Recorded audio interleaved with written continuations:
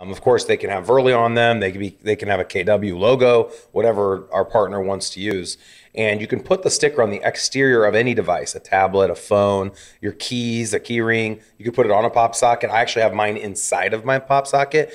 And we see a lot of times when you're out and about, especially as a real estate agent, you need to exchange contact information with someone. You want their cell phone number, their website, their Instagram handle, and it's a pain to send them a text message, ask them for their number. You're at a event where there's too much noise in the background. So with an NFC chip, all you have to do, if you have that chip um, on a sticker or card or in your phone, you raise it up to another iPhone device or iOS device and you place it on the opposite side of the camera.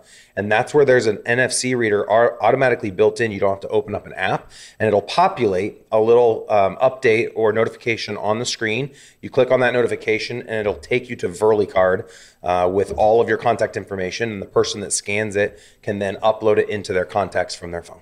You got it. In a nutshell. In a nutshell. Pretty simple. You're right. So there's a lot of other uses. Um, in the App Store, I know our users are able to download the NFC uh, writer, mm-hmm. and you can write any URL. So if you're having you know you want to point people to a specific event or you want to point people to your office address or to your google business page.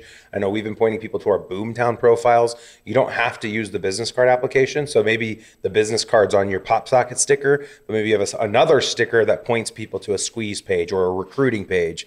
Right. sky's the limit. Exactly. It's it's been left open source so it's up to your own imagination how you want to u- utilize it into your business because you know everybody's business is a little bit different.